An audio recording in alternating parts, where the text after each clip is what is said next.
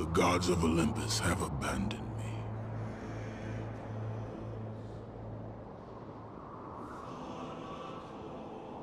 Now there is no hope. And Kratos cast himself from the highest mountain in all of Greece